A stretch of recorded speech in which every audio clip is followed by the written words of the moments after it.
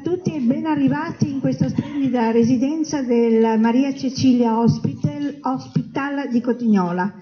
E siamo lieti di, eh, di, di, tenere oggi questo convegno, questo forum, eh, che fa parte degli incontri con i grandi esperti della salute.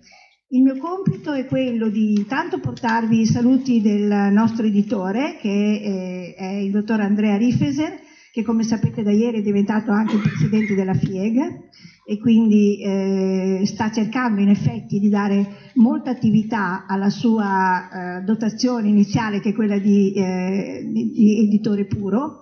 E eh, con lui anche tutta la parte della redazione diciamo di Quotidiano Nazionale, Resto Carlino Nazione Giorno, ma soprattutto della redazione della Carlino Salute e di Quotidiano Nazionale Salute, che è il supplemento che esce nella giornata di domenica, dove qui abbiamo il nostro massimo esponente, che è il giornalista scientifico, il dottor Federico Mereta. Eccolo qua. Un applauso ci vuole però, Federico. E, ehm, devo fare dei ringraziamenti. Allora, i ringraziamenti li faccio innanzitutto al dottor Ettore Sansavini che trovo qui davanti a noi, che è un po' il nostro ospite di casa, il nostro padrone di casa, è colui che ci ha permesso di utilizzare questa sala, questa struttura e quindi lo ringraziamo di cuore, ma lo ringraziamo in particolare per la qualità delle sue attività che sta espletando in questo momento. Grazie mille. E devo poi un altro ringraziamento alle autorità intervenute mh, tutte, ringrazio Carabinieri, ringrazio coloro che ci sono e vado ad annunciare un pochino coloro che fanno parte di questo incontro di oggi, eh, che sono il dottor Marcello Tonini, direttore generale dell'AUSL Ara Vasta Romagna, applauso. Il dottor Tonini, vi dico solo una cosa, è simpaticissimo. La prima volta che ci siamo sentiti al telefono mi ha detto, in effetti, io sono quella persona che lei ha cercato tanto, ma adesso ci sono. quindi grazie dottor Tonini. Poi dottor Paolo Lucchi che è, eh, in questo preciso momento purtroppo non è potuto intervenire e avremo, eccolo qua, avremo eh, il il sindaco del comune di eh, Cotignola, che è il dottor Luca Piovacari, eh, che è anche presidente dell'Unione dei Comuni della Bassa Romagna, che ci porterà un saluto anche in nome per conto del dottor Lucchi. Dico bene?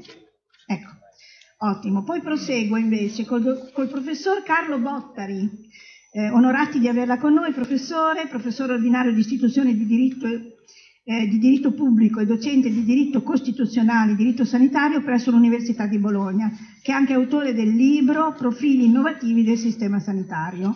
Applauso micidiale. Eh? E poi arrivo all'unica quota rosa di oggi, però purtroppo siamo destinati così, cara, non, non si può fare diversamente, quindi lasciamo.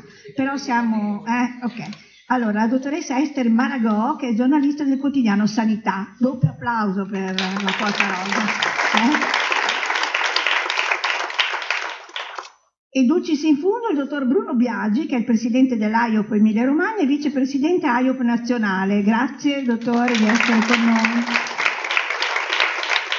Dicevo che il moderatore è il dottor Federico Mereta, al quale lascio la parola e eh, vi dico solo che vi riprendo al termine di questa bella chiacchierata, perché poi insieme brinderemo al Maria Cecilia ospite, ma anche a tutto il forum. Grazie mille, a dopo. Grazie. Grazie Oda, buonasera a tutti. Eh, da un po' di tempo con Oda abbiamo questi momenti di presentazione, quindi no, no, non preoccupatevi nel senso che io ricevo degli applausi meritati, io sono un medico che nella vita poi si è messo a scrivere da un bel po' di tempo.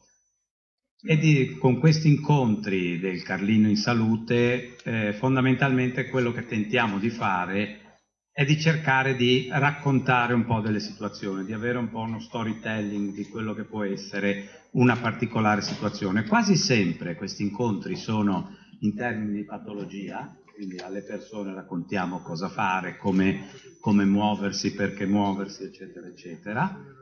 E questa sera cerchiamo di capire un po' quello che è oggi il modello eh, che stiamo vivendo anche grazie all'aiuto di Esther, che eh, io dico Esther perché siamo amici, ci conosciamo da tempo, comunque la dottoressa Maragò, che con Quotidiano Sanità rappresenta proprio un osservatorio attento e puntuale di quelli che sono gli spostamenti, i mutamenti dal punto di vista di governance dal punto di vista di eh, modelli assistenziali che sta un po' vivendo la sanità italiana. Vi dicevo, questa sera quello che cercheremo di fare è, chiacchierando tra di noi e chiacchierando molto anche con voi, quindi questa, dopo questa nostra mezz'ora, 40 minuti abbiamo tempo eh, per discutere un attimo anche su quanto emerge e sentire quelle che sono le proposte e le domande che da voi vengano. Eh, su eh, questo discorso dell'AUSL eh, Area Vasta Romagna, perché? Eh, il titolo secondo me è estremamente impressivo, qualità, innovazione, collaborazione e vedere se questo tipo di modello che si è sviluppato, si sta sviluppando, credo che sia in un continuo fieri, dottor Tonini, nel senso che eh, le sfide della sanità cambiano anche di giorno in giorno, l'organizzazione la governance si trovano di fronte a sfide sempre diverse, per vedere un po' eh, quello che siamo oggi e soprattutto quello che potremo essere domani, anche in una logica di integrazione tra pubblico e privato che poi, proprio per i modelli che si stanno creando, potrà avere uno spazio sempre maggiore, sempre diverso, lo vedremo assieme.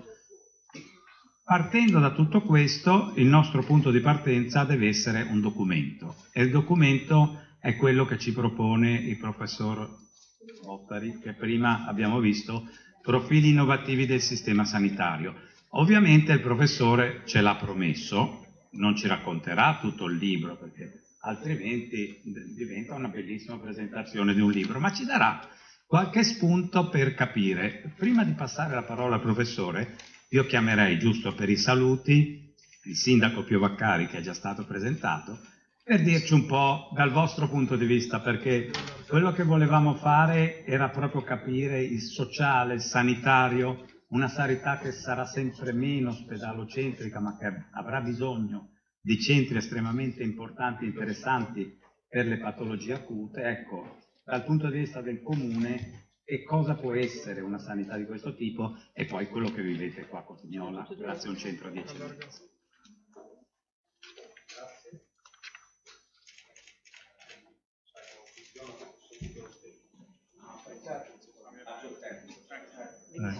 Pensavo se ci stesse da solo. Buonasera a tutti. Io naturalmente porto i saluti del Presidente della conferenza sanitaria della, della Romagna, il dottor Lucchi, che questa sera non, non, è potuto intervenire. E quindi in qualche modo cerco di portare la vicinanza degli amministratori locali, non solo di questo territorio ma di tutta la Romagna, che sono naturalmente attenti e vigili rispetto a questo importante ed ambizioso progetto che è quello dell'ASL Romagna. Naturalmente io mi auguro che a quella domanda la risposta sia positiva, perché quando come amministratori abbiamo scelto di eh, portare avanti questo progetto l'abbiamo fatto nella consapevolezza che era necessario mettere mano a un sistema sanitario che sicuramente è un sistema sanitario di grande eccellenza, che è quello dell'Emilia Romagna, quello della Romagna in questo caso in particolare. Ma l'abbiamo fatto sapendo che era indispensabile non rimanere fermi, ma guardare avanti e cercare di mettere mano all'organizzazione sanitaria sapendo che i bisogni di salute sono in continua evoluzione e richiedono appunto delle risposte nuove e diverse a quelle che siamo riusciti a dare finora. Io ringrazio chi ha organizzato questo evento, quindi Carlino, il Presidente Sansavini per l'ospitalità. Credo sia importante parlare di questo progetto e farlo all'interno di una struttura di, di grande eccellenza come sicuramente Villa Maria Cecilia. Lo dico perché uno dei punti importanti per la riuscita e per il successo di, di questo progetto è sicuramente anche riuscire a costruire e a migliorare la sinergia tra la sanità pubblica e la sanità privata. Questi sono territori in cui gli amministratori locali sono abituati a fare scelte anche difficili e se vogliamo impopolari, perché qui negli anni 90 noi abbiamo chiuso diversi ospedali, qui ci sono anche alcuni dei protagonisti che hanno seguito quella, quella fase importante, fase storica, è chiaro che nessuno si diverte a chiudere dei servizi, ma quando si fece quella scelta la si fece perché si capì che non era più sostenibile un tipo di sanità articolata in quel modo. Il progetto dell'AS Romagna in qualche, in qualche modo va nella stessa direzione, cercare di mettere mano al sistema sanitario della Romagna e cercare di migliorare la sua integrazione, ragionare sul fatto che non possiamo più pensare che in tutti gli ospedali ci siano tutte le specialità e tutte le risposte ai bisogni dei cittadini, ma immaginare un progetto che si traguarda nel tempo per offrire a tutti i cittadini della Romagna la possibilità di potersi curare, di poter avere risposte ai propri bisogni di salute nell'arco di 70-80 km, cosa che nessun territorio in Italia è in grado di garantire. Questo lo si fa qualificando prima di tutto i nostri servizi ospedalieri, quindi sviluppando vocazioni distintive in ciascun ospedale, far sì che ogni ospedale sviluppi un'alta professionalità a servizio di tutto il bacino territoriale della Romagna. Grazie, buon pomeriggio a tutti. Consentitemi innanzitutto di ringraziare il Presidente Ettore Sanzavini che con entusiasmo ha organizzato questa iniziativa in occasione dell'uscita del mio volume sui profili innovativi del sistema sanitario. Ettore Sanzavini con cui ci lega un rapporto professionale da tantissimi anni, ormai quasi quanto il Servizio Sanitario Nazionale, quasi 40 anni, e non soltanto quelli, perché ci legano altri eh, eh, episodi che sono avvenuti in tutti questi 40 anni, Ettore Sanzavini che desidero ringraziare anche per quello che ha dato, che continua a dare alla sanità, alla sanità in Italia e non soltanto in Italia. Ricordiamoci che il ruolo della, anche questa distinzione di cui si parlava prima fra sanità pubblica e sanità privata, è una distinzione per molti versi artificiosa, perché non c'è una sanità pubblica e una sanità. La sanità è pubblica di qualsiasi tipo. Poi è chiaro che il soggetto che la pone in essere può essere un soggetto privato o un soggetto pubblico, ma noi quello a cui dobbiamo fare riferimento è la finalità dell'attività e non c'è dubbio che la sanità sia una finalità di interesse pubblico, di interesse generale chiunque la ponga in essere. Quindi anche su questo io ringrazio il eh, Presidente Sanzavini perché eh, anche in tutti questi anni, e credo che lo stesso Tonini lo può riconoscere, eh, l'intervento di strutture come ad esempio quella che ci ospita oggi è un, stato un intervento anche di promozione del miglioramento della qualità nelle strutture pubbliche. Non c'è dubbio che le attrezzature che sono presenti oggi in una struttura di questo tipo eh, incitano poi anche le strutture pubbliche a migliorarsi, quindi a dare una risposta molto più efficiente e questo lo sappiamo che Ettore Sanzevini lo fa non soltanto a Cotignola, ma in tantissime altre parti d'Italia all'estero. Quindi un ringraziamento veramente sentito e sincero per questa sua attività. Siamo, come dicevo, a 40 anni dalla istituzione del Servizio Sanitario Nazionale. Nel dicembre del 1978 fu approvata la legge numero 833 istitutiva del Servizio Sanitario Nazionale una legge che era stata preannunciata dal decreto dal DPR 616 del 77 che già aveva modificato alcune competenze attribuite alle regioni e che riprendendo quello che era e che ancora l'health service della Gran Bretagna riproduceva quel sistema organizzativo anche all'interno del nostro paese. Ecco, a 40 anni di distanza dobbiamo porci e delle domande. Innanzitutto è migliorata la qualità dell'assistenza sanitaria nel nostro Paese? È migliorata la qualità della vita dei nostri cittadini e non soltanto dei nostri cittadini? Sono domande alle quali non possiamo che rispondere affermativamente e non c'è dubbio che sono stati fatti dei progressi giganteschi da 40 anni a questa Pensiamo soltanto alla prevenzione. La prevenzione 40 anni fa non esisteva. Non esisteva perché volutamente l'Assemblea Costituente, basta andare a leggere i resoconti dell'Assemblea Costituente, riteneva che la prevenzione non fosse una competenza da dare alle regioni, ma doveva essere una competenza che doveva restare allo Stato. Perché? Perché la prevenzione voleva dire sicurezza pubblica, tutela della sicurezza pubblica e quindi come tale la prevenzione doveva restare al Ministro degli Interni e probabilmente questo concetto sta un po' ritornando in auge con le ultime elezioni politiche. Ecco, ma questo per farvi capire che eh, allora la prevenzione non era neanche considerata. Oggi è diciamo il 50% del servizio sanitario. Prevenire, ma prevenire in, in vari livelli. Pensiamo a tutto il comparto della educazione. 40 anni fa non se ne sapeva nulla, non esisteva nessun tipo di educazione. Pensate a quello che si fa oggi per l'educazione alimentare, che è diventata poi estremamente di moda e sappiamo per quale ragione. Pensate alla educazione sanitaria che viene oggi svolta a vari livelli anche all'interno dei contesti scolastici. Pensiamo alla educazione, questo lo dico perché eh, sono stato per sei anni preside della facoltà di scienze motorie all'educazione motoria, che prima non esisteva. Quello come si fa oggi, affidamento all'attività motoria che è diventata fondamentale per ridurre la spesa sanitaria. Eh, Silvio Garattini eh, l'anno scorso è venuto da noi a tenerci una conferenza e ci disse che se noi vogliamo prevenire malattie come l'Alzheimer soprattutto, per il 50% la prevenzione dipende dall'attività motoria far compiere attività motoria. Poi il 30% dipenderà dall'alimentazione, ma il 50% e aggiungo anche un ulteriore elemento che eh, desumiamo anche dalle ultime dichiarazioni dell'Organizzazione Mondiale della Sanità. Eh, cosa ci dice l'OMS? L'OMS ci dice che il benessere di una popolazione dipende al 50% dal livello culturale di quella popolazione perché se quella popolazione ha un livello culturale che la porta ad avere un'educazione alimentare, ad avere un'educazione preventiva dal punto di vista motorio, avere una educazione anche alla propria eh, eh dignità di vita, questo poi corrisponderà con le strutture sanitarie che si vanno a creare a realizzare quell'obiettivo di benessere che oggi è diventato indispensabile e che vediamo sempre di più eh, eh all'attenzione non soltanto del nostro governo ma anche e soprattutto dell'Unione Europea. Ecco.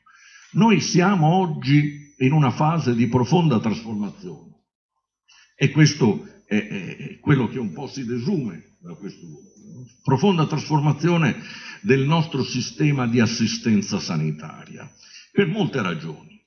La prima è quella più scontata, l'aspettativa di vita.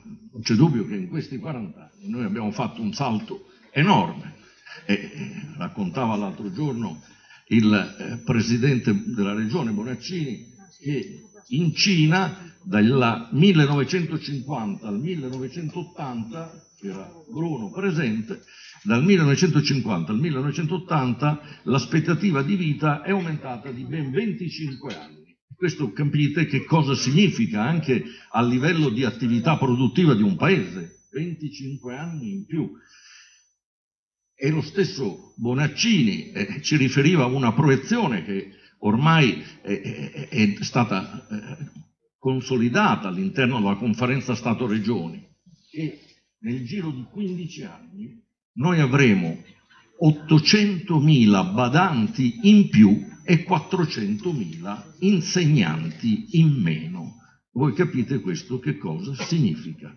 Significa una rivoluzione, significa una rivoluzione perché? È perché noi ci troviamo, Nico Tonini si ritroverà a dover dare assistenza non più per 25 anni, ma per darla almeno per 35 anni. Sul Corriere della Sera l'altro giorno c'era un articolo dove si diceva che ci sono, eh, eh, mi pare, 700.000 persone in Italia che percepiscono la pensione già da 35 anni, le baby pensioni che furono date ai bei tempi, quindi gente che sta in pensione anche più di 40 anni. Pensate se è sostenibile un sistema di questo tipo e se lo sarà anche per la sanità. La sanità dovrà avere di fronte dei tempi molto più ampi. Eh, perché? Perché poi c'è stata la cronicizzazione di molte malattie, malattie che una volta si risolvevano in periodi molto più brevi, oggi eh, pensiamo anche alle stesse malattie oncologiche, sono malattie ma Alzheimer, eh, Parkinson, malattie oncologiche e tante altre, oggi non hanno soltanto necessità di un intervento di tipo sanitario, ma come giustamente diceva prima il sindaco, hanno necessità anche di un intervento sociale. E qui è diventata indispensabile l'integrazione fra il sociale e il sanitario. Nel decreto Balduzzi del 2012 si parla di presa in carico. Perché? Perché il servizio sanitario dovrà prendere in carico il cittadino da quando nasce a quando muore. E in questo percorso che potrà essere di 70, 80, quello che sarà, è chiaro che ci saranno momenti che sono affidati alla sanità e momenti forse molto più lunghi che saranno affidati al sociale. Ma questo è soltanto un esempio, già lo ricordava prima anche il sindaco, la conferenza dell'Ocse di Tel Aviv di due mesi fa lo rimarcava, l'ospedale come tale sta perdendo la sua centralità. Noi siamo abituati a quella struttura ospedaliera nata nel 1968, quindi dieci anni prima dell'istituzione del servizio sanitario, dalla legge Mariotti, istitutiva degli enti ospedalieri, e abbiamo costruito tutto il sistema di assistenza sanitaria attorno all'ospedale. Oggi eh, questo sta venendo meno, sta venendo meno perché eh, gli amici chirurghi eh, sanno bene, l'amico Mattioli ce lo può raccontare, come la chirurgia sta perdendo tante di quelle sue prerogative che aveva una volta. Quante operazioni una volta eh, si facevano invasive, oggi non lo sono più.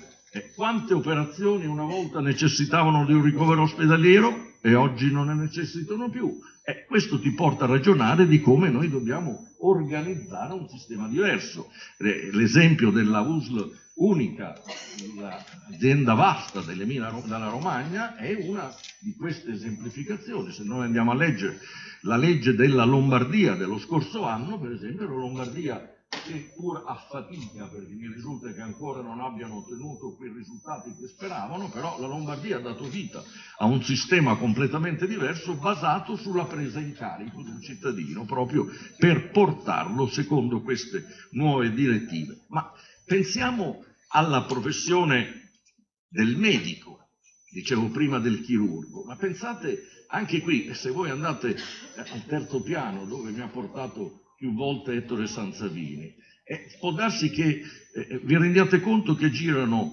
meno medici ma molto di più ingegneri, informatici, fisici, biologi, sociologi, eh, psicologi.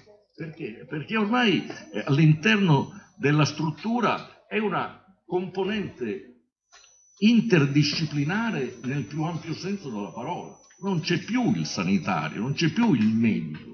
Sono tantissimi. Quando si utilizza un robot, come fanno in tantissime strutture, io l'ho visto da noi al Sant'Orsola Bologna, nel reparto di urologia, che oramai gli interventi sono tutti fatti con robot, ma il medico ce ne sarà uno, perché gli altri sono tutti informatici, sono ingegneri, sono quelli che ti eh, eh, comandano la struttura su come deve essere realizzato l'intervento, eccetera.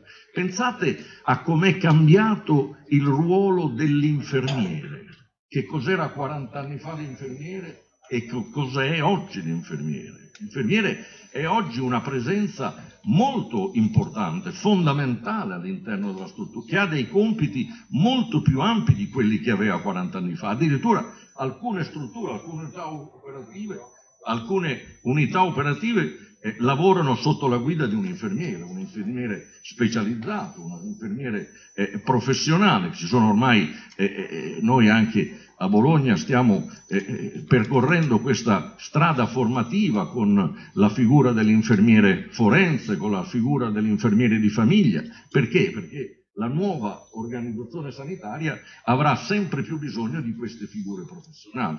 Quindi anche da questo punto di vista è molto importante la formazione che noi proprio da questo punto di vista forse è il lato meno trattato in tutti questi anni. L'aspetto formativo è stato un po' negletto, diciamo, da, a tutti i livelli, soprattutto a partire dal eh, Ministero della Pubblica Istruzione che si è eh, eh, eh indirizzato su altre che non invece su questi aspetti che sono fondamentali per l'attuazione di un diverso servizio sanitario nazionale. Ecco, vedete, questi sono alcuni esempi di come sta cambiando il nostro servizio sanitario, di come noi dobbiamo andare incontro alle nuove aspettative che richiederanno eh, non soltanto delle eh, maggiori interdisciplinarietà, interdisciplinarietà rispetto a quelle che abbiamo avuto fino adesso, ma richiederanno soprattutto dei nuovi e più efficaci modelli organizzativi. Non c'è dubbio che quello messo in cantiere dalla Regione Emilia-Romagna e diretto egregiamente dall'amico Tonini è quello che può darci i risultati maggiori e lascio a lui il compito di spiegarcelo. Grazie, grazie professore. Eh, credo che abbia messo sul piatto veramente tantissimi argomenti e tantissimi aspetti. A me viene da pensare che il sistema sanitario ha 40 anni e i 40 anni è l'età in cui si bisogna cominciare a fare gli screening, mettere un po' a posto, trasferiamolo sull'età umana e vediamo che è proprio l'età in cui comincia a esserci qualche criticità, per dire. E la, la, sanità ha il compito di in qualche modo avviarsi verso la diagnosi precoce, una diagnosi precoce che in questo caso passa molto attraverso eh, quello che ha detto il professore, perché è vero che si campa sempre di più, ma bisogna anche vedere in che condizioni poi si campa, perché noi stiamo e siamo riusciti ad allungare la vita dal punto di vista quantitativo, però poi il bisogno delle badanti ci indica che eh, le persone che prima magari morivano un po' prima, esatto, morivano un po' prima, stanno configurando... La zia zitella, i nonni, oggi non esistono più e quindi chi è che sta dietro? Sicuramente. E l'altro aspetto importante, eh, che è quello culturale, è mo tutto molto riferito e relativo alla cultura, eh, mi piace sempre ricordarlo perché dobbiamo anche capire in che ambiente ci muoviamo eh, secondo l'Ocse eh, in questo paese il 47% degli abitanti è analfabeta funzionale, che vuol dire che se gli diamo da leggere una pagina completamente scritta come questa, alla fine di tutta questa lettura diciamo che ha un po' di difficoltà ad aver compreso tutta la pagina. L'Ocse dice il 47%. È un dato importante perché in termini di sanità, ieri sera chiacchieravamo, no? si diceva con, in un'altra regione si diceva ma voi pensate quando arriva la lettera a casa per lo screening del colon retto, sono quattro pagine in cui probabilmente ti si prospettano un po' tutte le cose. Allora anche in termini di comunicazione, eh, un sistema così complesso ma allo stesso tempo affascinante come un house così grande può diventare secondo me davvero un modello. Io chiederei al dottor Tonini e poi eh, al, al dottor Biagi, proprio i 3-4 punti che oggi per voi rappresentano la sfida, a lei in che modo si può fare questa sfida e poi a Esther Maragò, scusate continuo a chiamarla Esther, la dottoressa Maragò, così non faccio gaffa. Esther, eh sì perché siamo amici, quindi si può. Eh, proprio un po' dal tuo punto di vista di chi si occupa di scrivere di sanità praticamente quotidianamente perché si chiama quotidiano sanità, quindi quello è, eh, che tipo di visione hai su, su questo aspetto? Prego, dottor Tonini, cominciamo un po' a chiacchierare adesso. Grazie. Lo voglio vedere nella faccia. Ah, è proprio incattivito. Eh? No! Adesso dico di affrontare la vicenda delle ragazzate, io sono ragazzaccio.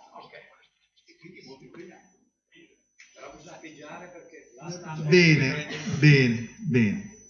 Io non so se risulterò antipatico o simpatico ma so che non voglio lasciare l'aula avendo detto solo ovvietà. Questo non lo voglio fare, lo vorrei evitare. Eh, chi ha scritto il titolo? Chi ha scritto il titolo? Perché nel titolo ci sta tutto, no, soprattutto la parte neretta del titolo, quello ineretto. Aus, area vasta Romagna.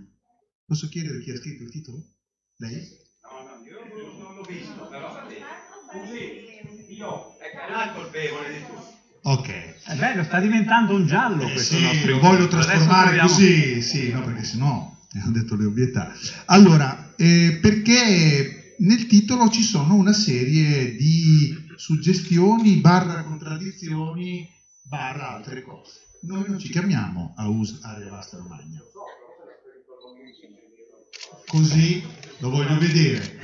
Se fossi in questo luogo lo manderei a casa subito, ma purtroppo Allora non pensi un po' quando si dice la comunicazione. Allora vuol dire che i retropensieri ce li ho dentro casa, il che è ancora più grave. Eh, ma quando si rischia, si rischia, poi si va incontro anche a guai a volte.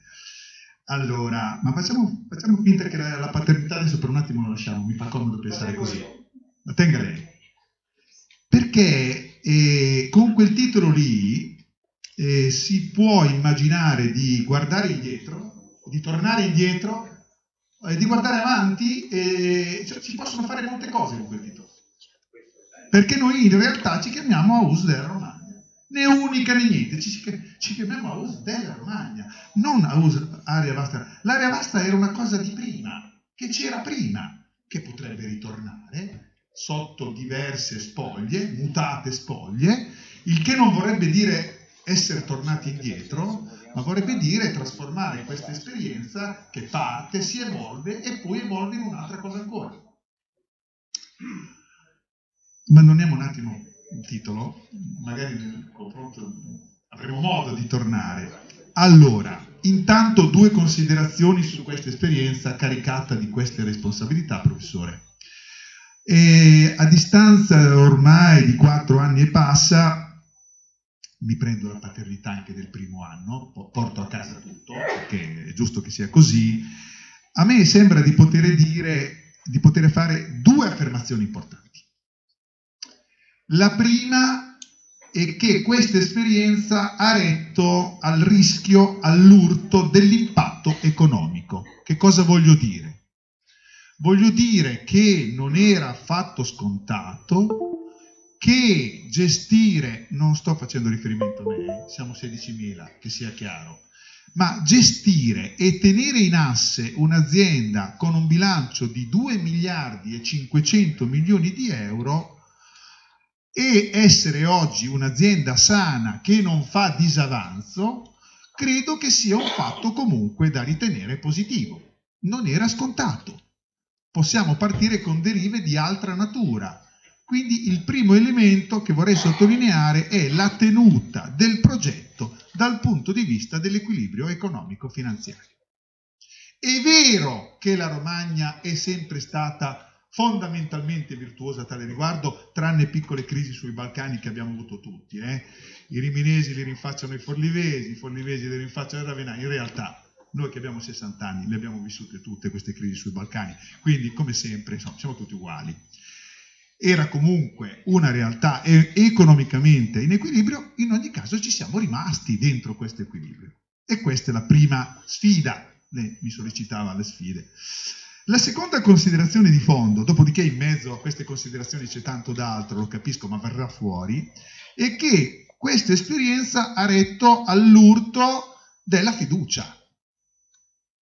Cioè, che cosa voglio dire? Voglio dire che questo posto del mondo, la Romagna, tutta insieme, è un posto dove i cittadini, nei confronti della loro sanità pubblica e privata, hanno un livello di fiducia che in questa regione virtuosa non hanno altri territori.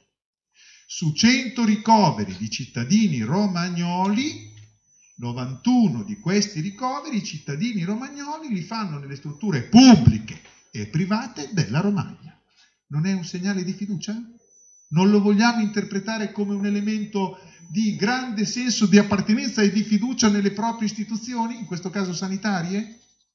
Bene, quando eravamo quattro aziende diverse e disperse raggiungevamo il 90,2 e adesso siamo al 90,6 non sto rimarcando siamo lì. Bologna è dietro. Ma non perché io voglio fare la corsa io sono competitivo eh, che sia chiaro. Per me è importante vincere non è partecipare. Però punti di vista eh, senza scorrettezze però, eh. giocando pulito con la maglia con colori nitidi. Questo è chiaro. Allora non voglio qui, però voglio dirvi che questa sfida che poteva essere molto pericolosa anche dal punto di vista della percezione dei cittadini, da questo punto di vista è una sfida non oso pronunciare la parola vinta perché mi fa paura, ma stiamo tenendo. Stiamo dignitosamente tenendo e il grado di fiducia e la percezione non è calata, anzi è lievemente cresciuta per effetto del contributo della sanità pubblica e della sanità privata. Mi sembrano due faccendine non da poco.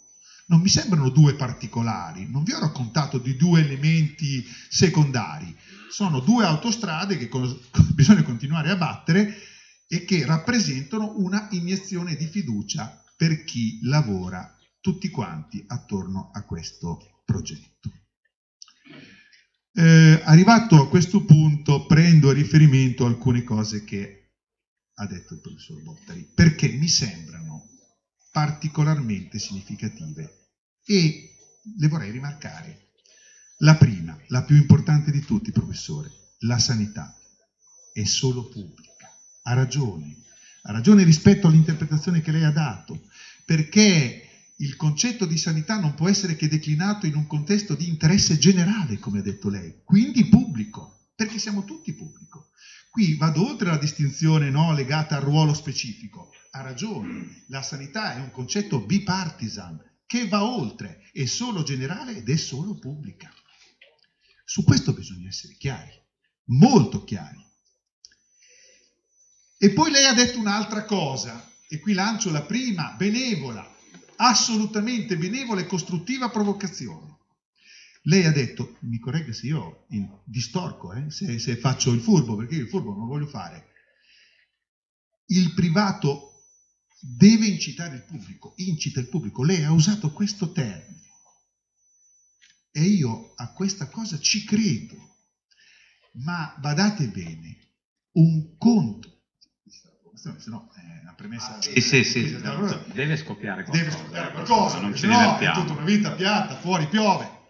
Un conto è incitare, un conto è immaginare di sostituirsi. Sono due cose molto diverse. Attenzione, sono due cose molto diverse. La mia non è un atto d'accusa, la mia è una constatazione di uno che lavora nella sanità da 60 anni e coglie degli aspetti. Incitare, stimolare, concorrere dal punto di vista della, della, del bene pubblico, dell'interesse, ma non sostituirsi, perché sennò quel concetto che diceva lei all'inizio, dove va a finire? È un'altra cosa. L'italiano io non lo parlo bene, però lo capisco. Eh, però lo capisco. Sostituirsi no non va bene perché tradisce quel concetto che ha detto perfettamente lei. Allora noi bisogna che la troviamo una strada nel mezzo, perché se siamo intelligenti la dobbiamo trovare, che non ceda in nessuna tentazione e permetta di mettere insieme le anime in maniera virtuosa per il bene pubblico. Possiamo non cercarla questa strada.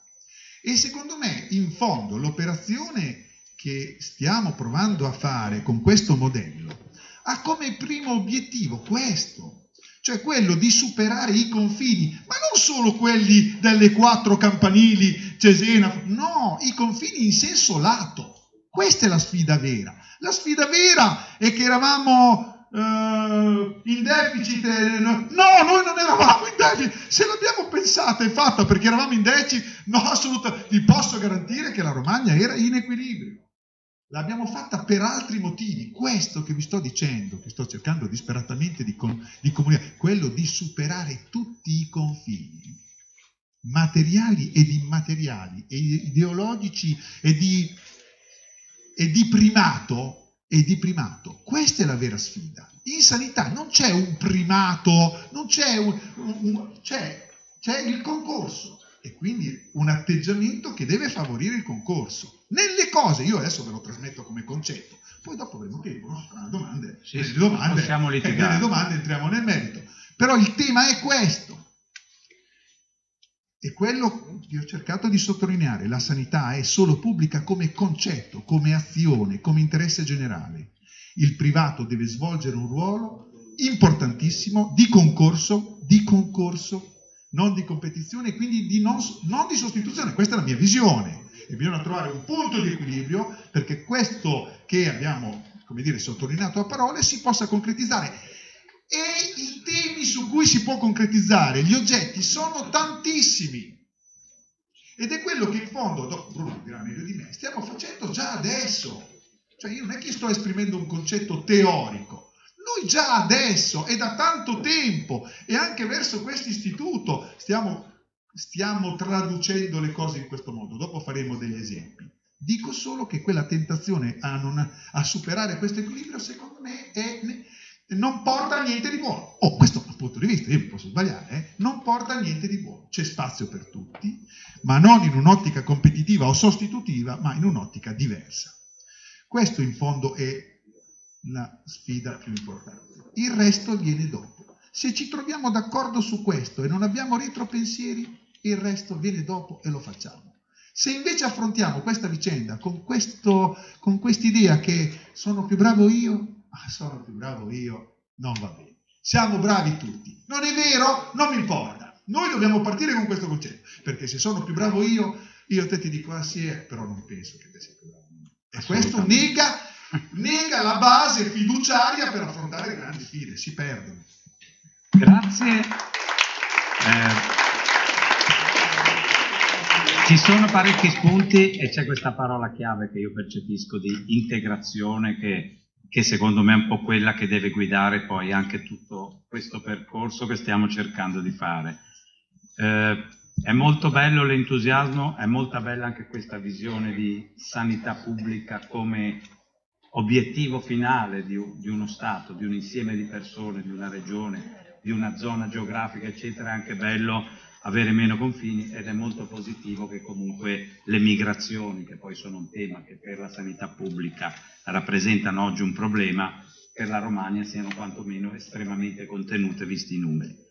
Esther, te cosa ne dici? Perché voi ne scrivete spesso di questi modelli di integrazione. Allora, devo dire innanzitutto che mi stai dando un compito estremamente arduo, perché riuscire in qualche modo a sintetizzare quella che è la sanità italiana credo che sia uno dei compiti più difficili che esistano, perché lo sappiamo tutti quanti, è un puzzle molto complicato. Eh, mi piace pensare alla sanità come un, anzi al, al servizio sanitario nazionale, come un corpo. In questo momento la scienza si sta concentrando molto sul microbiota, va molto di moda, questi microorganismi che lo compongono e che in qualche modo influenzano anche la nostra salute. E devo dire che è un paragone che ci sta tutto quanto perché eh, quello che noi vediamo, almeno avendo una visione appunto a 360 gradi di quello che accade in Italia, e vi garantisco che è una cosa, voi lo sapete, estremamente complessa, e tra un microbiota e un altro ci possono essere delle differenze sostanziali e ognuno esercita un ruolo che può scalzare l'altro e far esplodere il sistema. Quello che noi osserviamo è, innanzitutto io lo dico sempre, che la sanità pubblica è uno dei pochi settori nella pubblica amministrazione che realmente si è rivoluzionato, che realmente ha fatto una spending review costruttiva e credo che questo non va dimenticato rispetto probabilmente a tantissimi altri settori che invece stentano. Ciò detto, eh, riuscire in qualche modo a uniformare questi vari corpi e microbi che in qualche modo lo compongono è estremamente complesso. Eh, si parla in questo momento, anzi questa è, è, la casa in qualche modo della, di quello che è ad esempio di una integrazione tra il pubblico e il privato accreditato.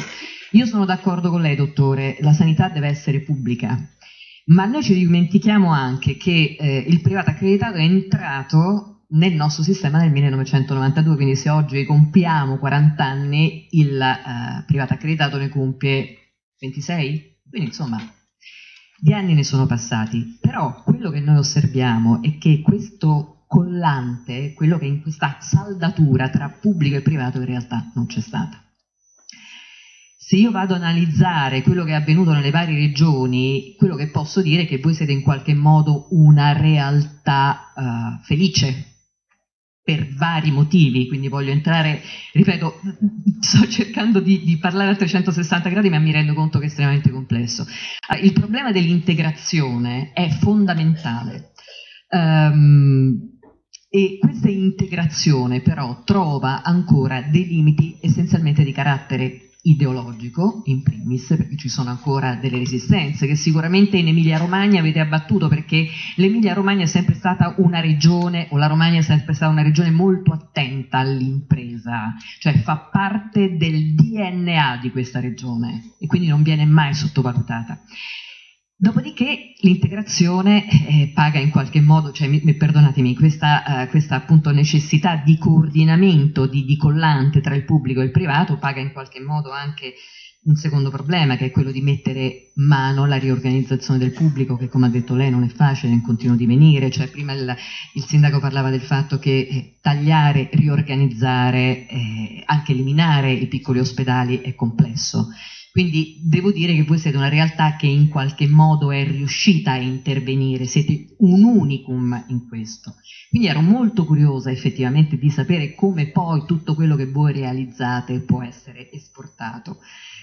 Certo, devo dire che anche il privato accreditato deve in qualche modo fare una sorta di uh, mea culpa per alcuni aspetti, perché molto spesso si è arroccato su propri convincimenti in questi anni ho seguito, sono vent'anni, sono anziana anche io, eh.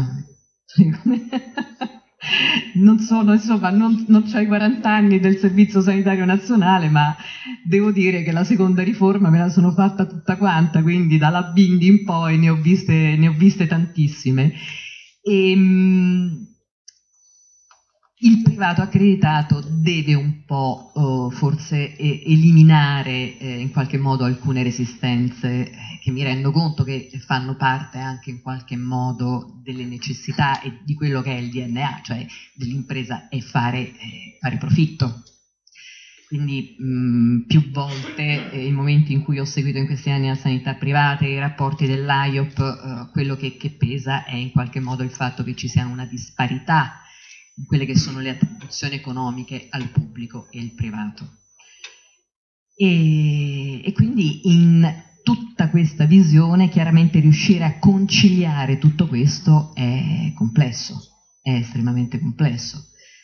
E non si può in qualche modo neanche paragonare una realtà a un'altra perché le esigenze sono tantissime eh, lei eh, dice area vasta, lei ha parlato di non siete un'area vasta, però oh, se vogliamo ci sono tante esperienze in, in, Italia, anzi alcune esperienze, non tantissime in Italia, che hanno dato frutti importanti. Guardiamo la regione Marche, che è stata forse credo una delle prime a creare una grande scusatemi, io parlo, parlo, mi rendo conto che forse tocco tantissimi argomenti, ma riuscire a sintetizzare è veramente complesso, poi magari ci proviamo.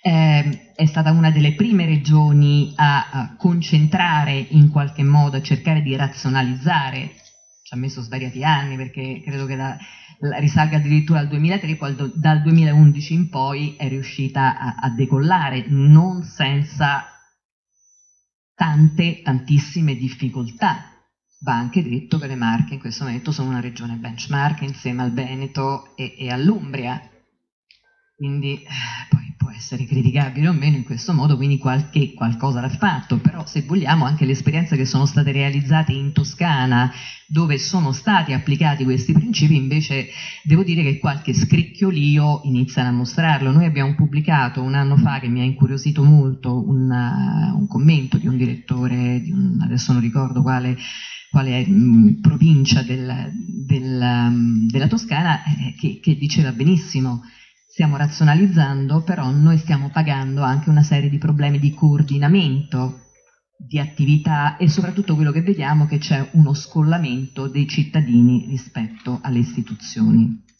Quindi è un, diciamo che è veramente un, un, organismo in continuo divenire, riuscire a trovare la quadra è sempre molto complicato, però io quello che dico, ecco questo in qualche modo per tirare le somme, è che quelli che in qualche modo sono gli elementi cardine che devono consentire al nostro sistema di andare avanti sono in primis appunto l'integrazione, quindi ognuno deve fare la sua parte, sia il pubblico sia il privato accreditato, il coordinamento che chiaramente in questo caso è eh, nelle mani direi, dovrei dire del Ministero, ma forse delle regioni, soprattutto in questo momento in cui ancora cerchiamo di capire dove stiamo andando, considerando che poi c'è anche una spinta fortissima alle autonomie. Non ci scordiamo che prima della, della, della chiusura dell'ultima legislatura eh, tre regioni hanno sottoscritto un patto molto forte per andare verso queste autonomie regionali.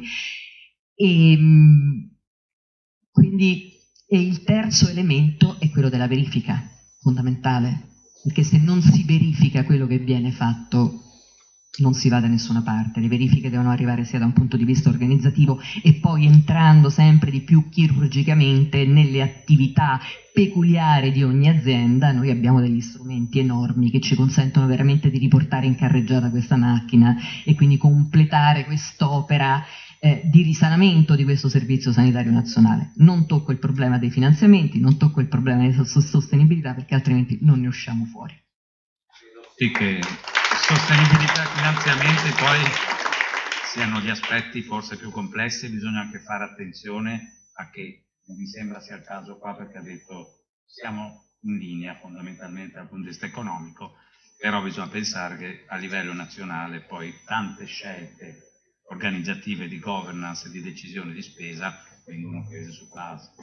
Tante scelte che sono anche eh, sull'attività poi del professionista e sulla misurazione del professionista, perché anche quell'aspetto è estremamente importante, si diceva prima è giusta la competizione, però è anche giusto avere dei parametri di misurazione, perché poi non è nemmeno corretto per le persone, per i cittadini, e qua anche il sindaco, la politica ha un ruolo, dire tu hai lo stesso trattamento da tutte le parti, anche se attendere questa è la cosa. Probabilmente una delle complessità che può avere un'area così vasta, chiamiamola area vasta, o comunque un sistema che quanto più è vasto, è proprio quella di avere dei parametri, misurare e poi poter dare al cittadino quello di cui ha bisogno volta per volta e caso per caso. Comunque il dottor Biaggi ha tante di quelle risposte da dare che secondo me oh, Forse, forse potreste anche un po' accapigliarvi, però magari no così, non così in tono, perché in realtà sì, al di là delle battute, questa sfida di integrazione, questo potenziale modello di integrazione a guida pubblica, perché questo, su questo siamo tutti d'accordo, non è così facile anche dal vostro punto di vista di AIO, perché poi sì. Diciamo che i miei rapporti con Marcello sono sempre stati estremamente franchi, a volte anche muscolari, però, sapevo che saremmo arrivati a però sempre franchi e ci siamo detti le cose come la, come la pensiamo, e, eccetera, eccetera. Io vorrei fare, veramente io oggi sono in una posizione un po' complessa perché sono, devo parlare come amministratore di, di, di Maria Cecilia Hospital, però nello stesso tempo non devo dimenticare che sono il presidente dell'AIOPA regionale e anche un ruolo a livello nazionale, per cui diciamo posso avere una visione un po' uh, complessiva. Io volevo partire eh, nel mio ragionamento da quello che diceva eh, Carlo Botte 40 anni fa questo paese ha fatto una scelta, ha fatto una scelta di un sistema sanitario di tipo beverage, che vuol dire un sistema universalistico. Ah, un sistema universalistico basato sull'equità d'accesso e su un finanziamento della fiscalità generale.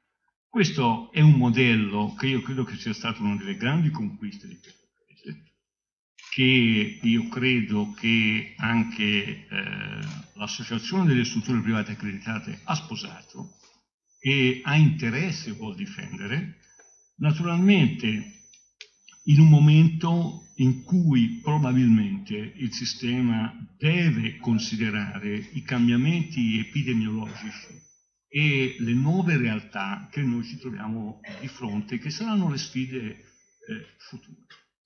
Eh, quindi si è, si è così mh, rapidamente il discorso del, nuovi, del, nuovo ruolo degli ospedali, che saranno sempre più eh, ospedali tecnologicamente avanzati, eh, eh con degenze più brevi, con grandi rapporti e integrazioni sul territorio.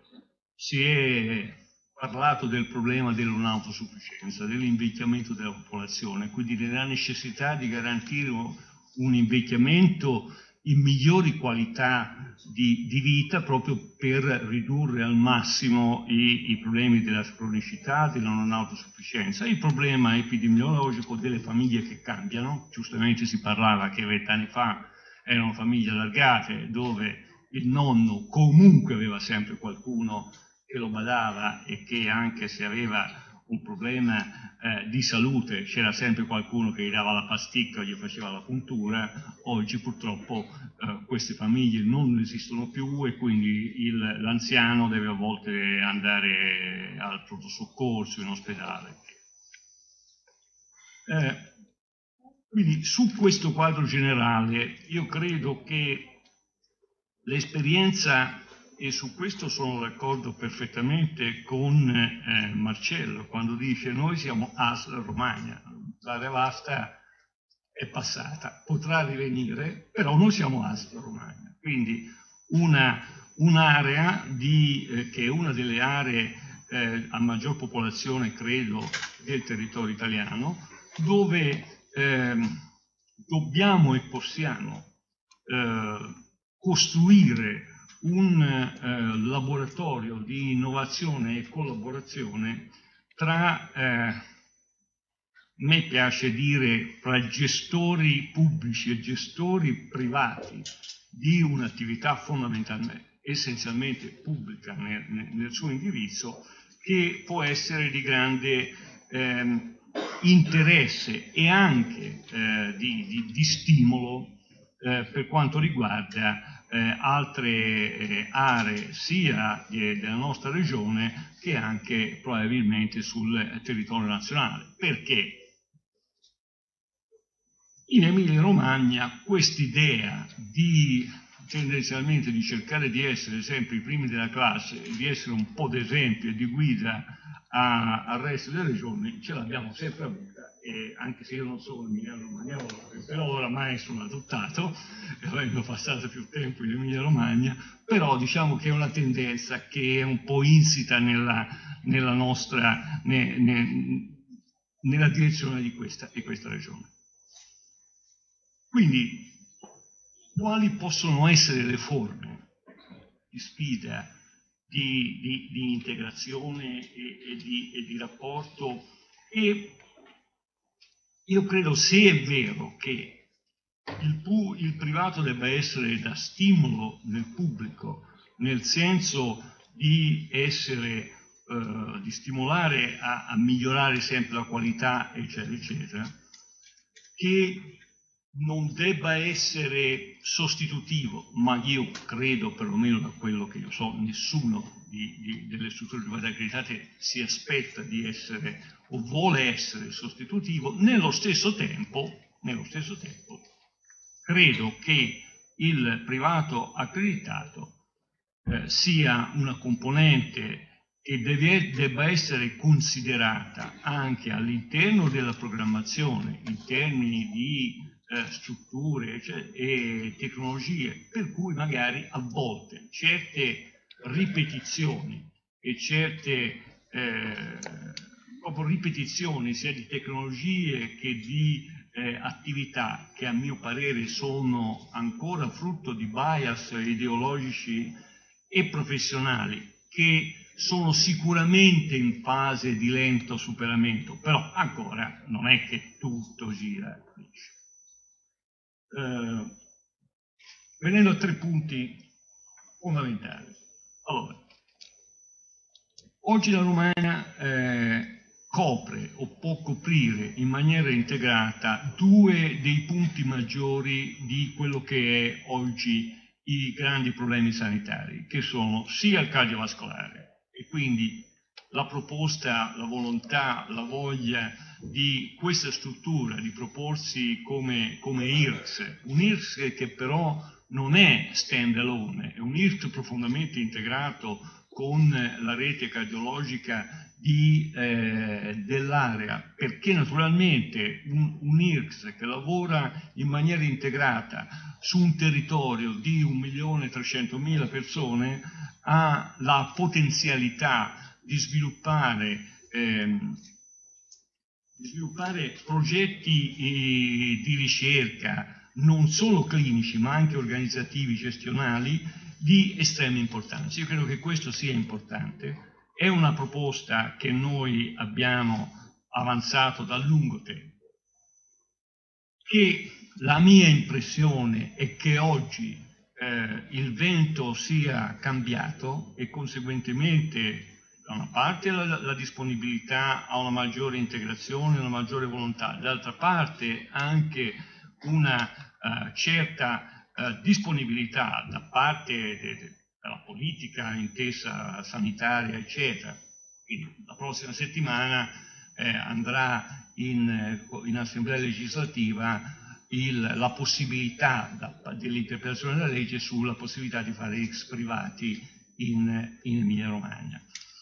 Questo è naturalmente l'inizio di un percorso legislativo, percorso che però da un punto di vista eh, di eh, integrazione tra le strutture è già iniziato, è già iniziato tre o quattro anni fa, è già iniziato con percorsi condivisi, è già iniziato con attività condivise, è già iniziato uh, in, in, maniera direi concreta e per certi versi è stato anche d'esempio a altri percorsi che si sono poi attivati all'interno della regione.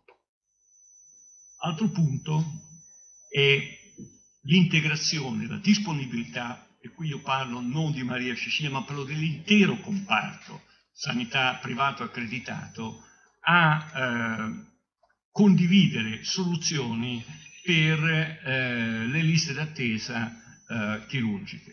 Noi abbiamo già avuto in questa area un'ottima esperienza sulla, eh, sulle liste d'attesa per l'ambulatoriale, in cui c'è stata una collaborazione, in cui si è discusso, però alla fine questo devo dire è una delle cose che maggiormente apprezzo, tutto sommato, di, dei, dei rapporti con Marcello, che magari si litiga, si urla, si discute, però alla fine si fa un passo avanti.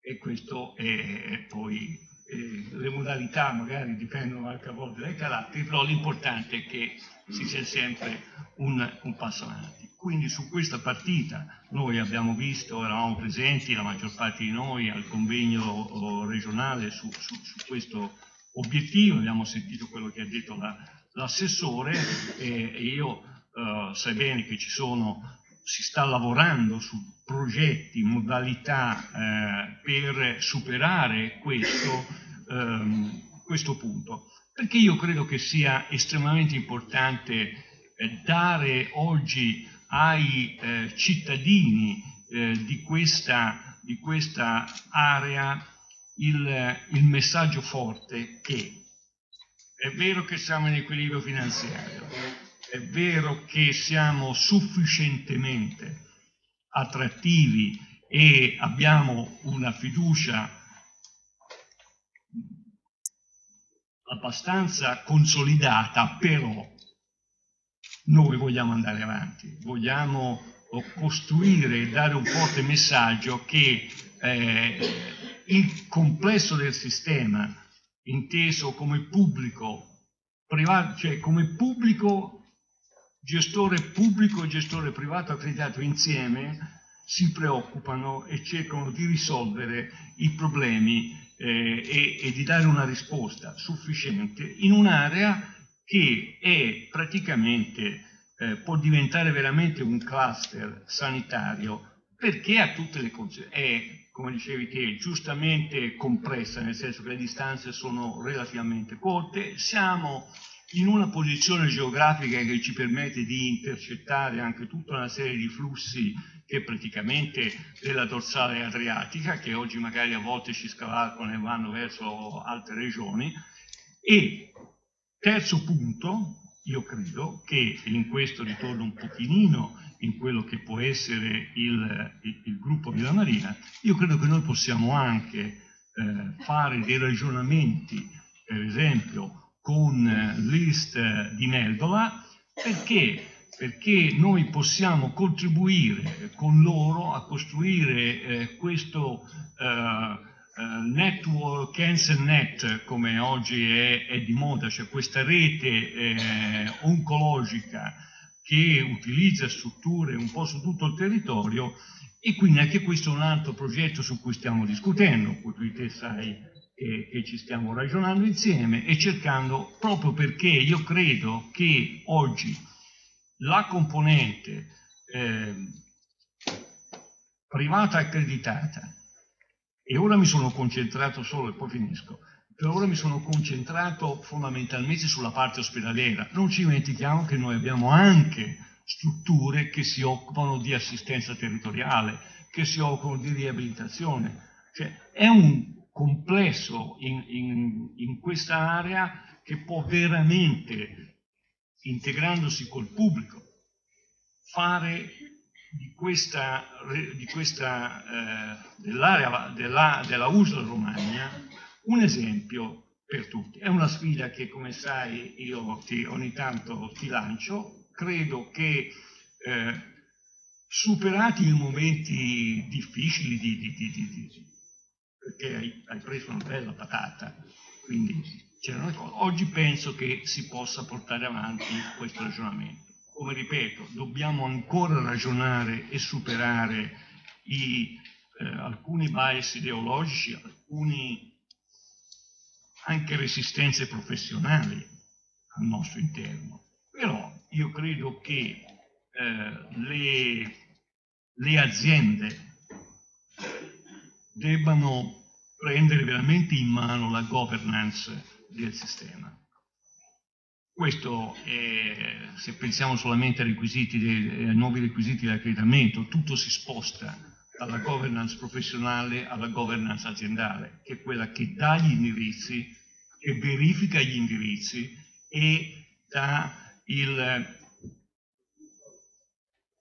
la ragione del, de, dell'essere del sistema, superando un po' alcune, alcune eh, particolarità. Ecco, io credo che questo sia una grossa sfida che, ci, eh, che possiamo affrontare, che vogliamo affrontare insieme, che noi ci siamo, eh, ci siamo, siamo pronti a discuterne, a ragionare, anche a non essere d'accordo su alcuni punti, ma l'importante, eh, l'idea è che noi possiamo fare non uno, ma forse due o tre passi avanti anche in tempi abbastanza brevi. Grazie. Sulla, ris- sulla rissa sono quasi sicuro, eh, sulla rissa. Professor Bottari, proprio un minuto, poi due o tre domande da voi e poi facciamo un rapidissimo giro di nuovo noi per vedere un po' da questi spunti. Uno, professore, se ce l'ha. Uno, se ce l'ha. due sollecitazioni emesse dall'intervento della dottoressa Maragò. Sì, in Emilia Romagna in effetti noi ci dobbiamo ritrovare, no, no, perché le domande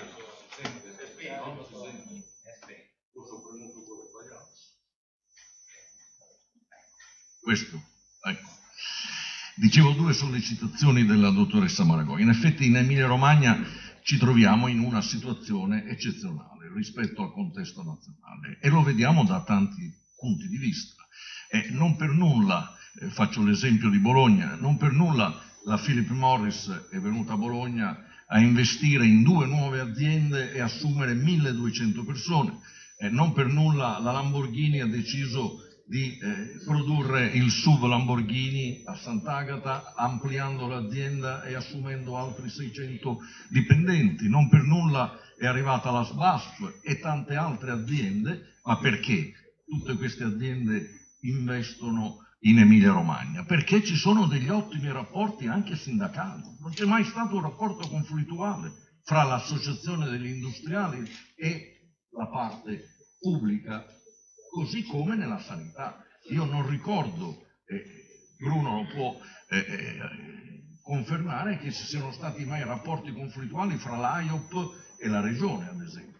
Qualche volta c'è stata qualche frizione, ma è stato sempre superato. Questo non avviene nelle altre regioni, proprio perché qui c'è un ottimo rapporto fra il pubblico e il privato che si è consolidato nel tempo, soprattutto per quanto riguarda le relazioni sindacali. Poi certo, queste aziende vengono anche, e lasciatemelo dire, perché c'è l'Università di Bologna, e l'Università di Bologna è quella che eh, influisce enormemente perché dà la manodopera a queste aziende, gli ingegneri meccanici, elettronici, eccetera, e quindi eh, preferiscono installarsi lì dove trovano già del personale formato anziché in altre sedi. Seconda sollecitazione, chiudo subito.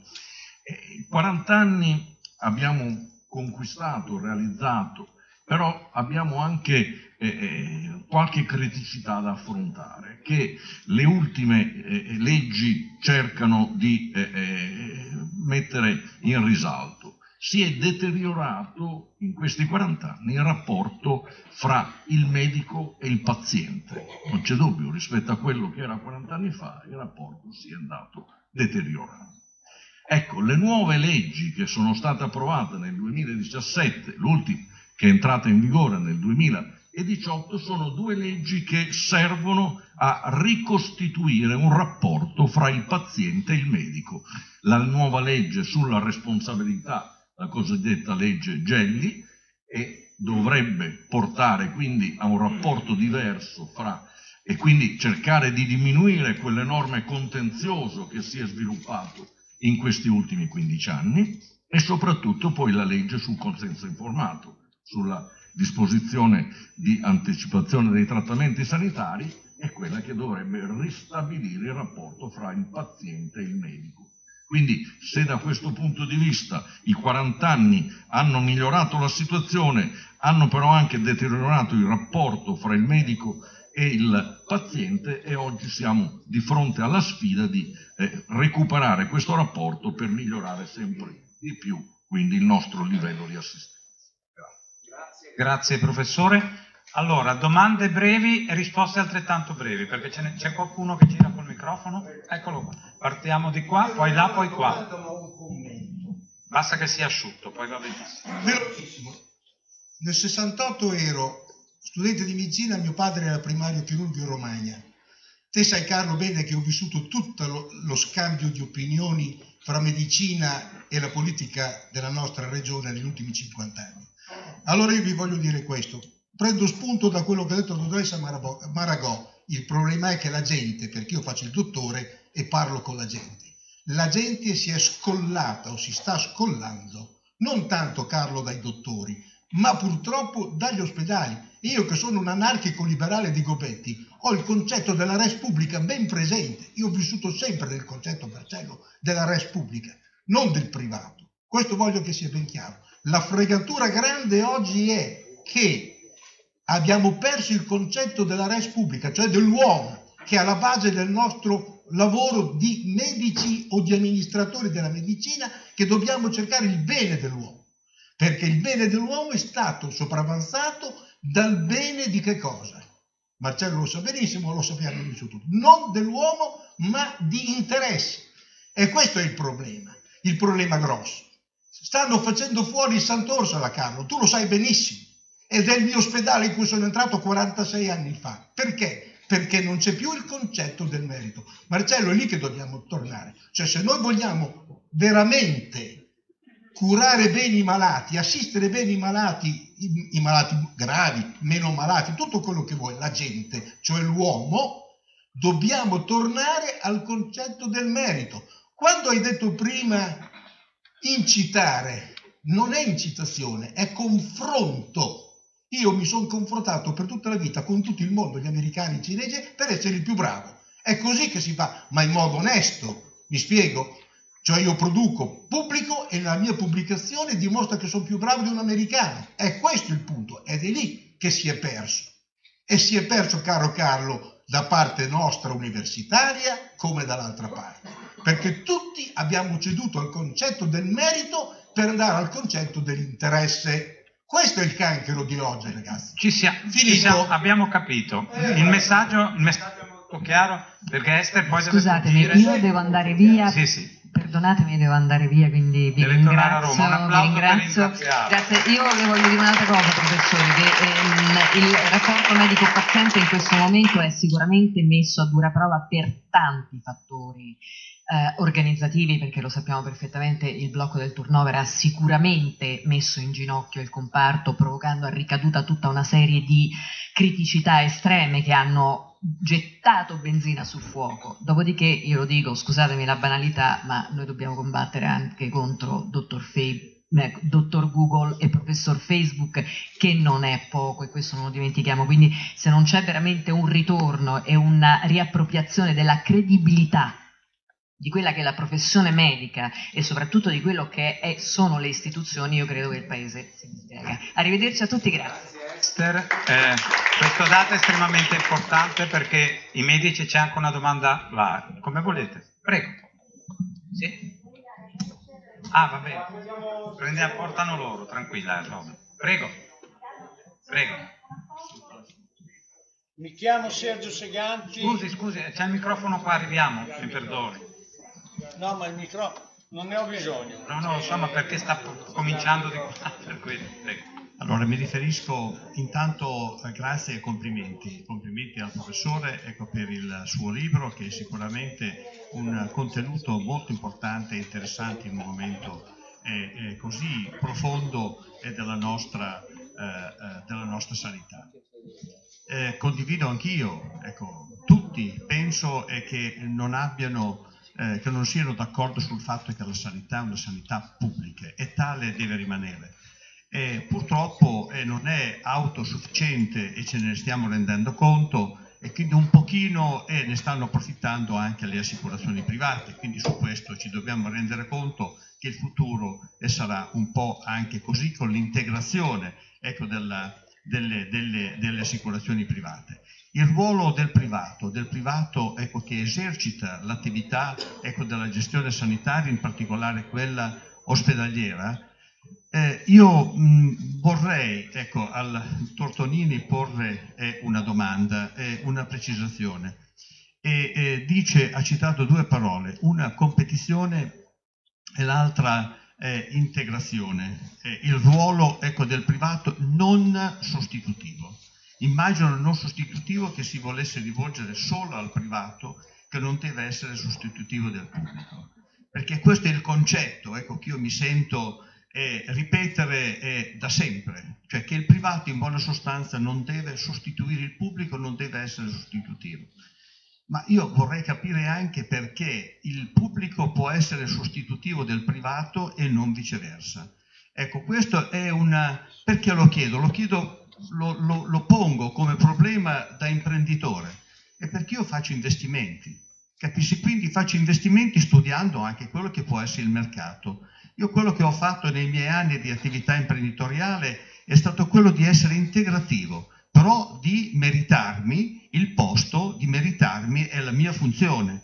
Una volta che mi sono meritato la mia funzione, la mia funzione funziona eh, e dall'altra parte il pubblico decide ecco, di sostituirmi, ma io quale garanzia ho come imprenditore che ho fatto il mio lavoro, l'ho fatto bene da un punto di vista economico e eh, sono stato anche vantaggioso e per quale motivo eh, devo essere sostituito? Questa è una domanda ecco, che pongo al dottor Tonini e, e non vorrei ecco, che questo rimanesse soltanto eh, nel tempo un fatto ideologico. l'altro è la eh, competizione.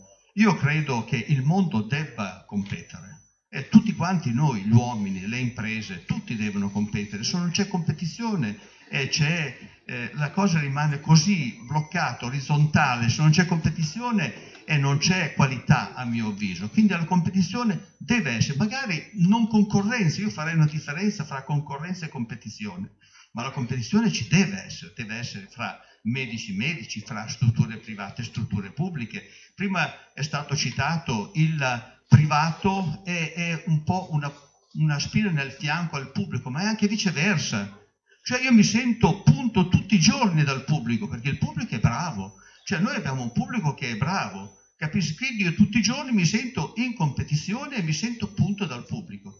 Quindi io vorrei ecco, che questi principi, questa base ecco, di competizione e di imprenditorialità, è vero, prima è stato citato anche il privato vuole guadagnare e pensa di guadagnare in sanità. Certamente è un imprenditore. L'importante è che non costi più del pubblico, anzi sappiamo bene che il privato costa meno, e, e, che, non, e che faccia la sua attività in modo operativo corretto. E qui spetta al pubblico controllare il privato. Ecco, io la pregherei in particolare di chiarirmi bene che cosa intende per sostituire, per, mi pare di aver già espresso a sufficienza. Grazie. Sentiamo ancora la domanda? Perché no, dicevo, il signore là che ci si era alzato, scusate, no, ma perché aveva già iniziato, scusate. No. Allora, dicevo... Arriva il microfono, calma, eh, ci vuole. Perché mi muovo molto, scusate. Prego. Sergio Seganti, sono stato per 38 anni tecnico di radiologia medica all'ospedale civile di Lugo e volevo ricordare un po' la storia di questo territorio. No, non mi legga il libro come il professore, eh? No, no. Ah, ok. 1977 ospedali in 25 chilometri.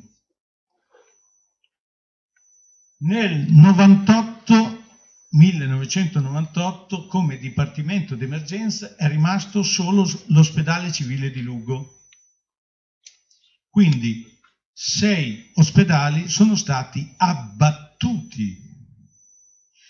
Perché ci fu anche la legge De, di De Lorenzo che recitava che gli ospedali con meno di 120 posti letto vanno riconvertiti senza dire ai noi in che cosa.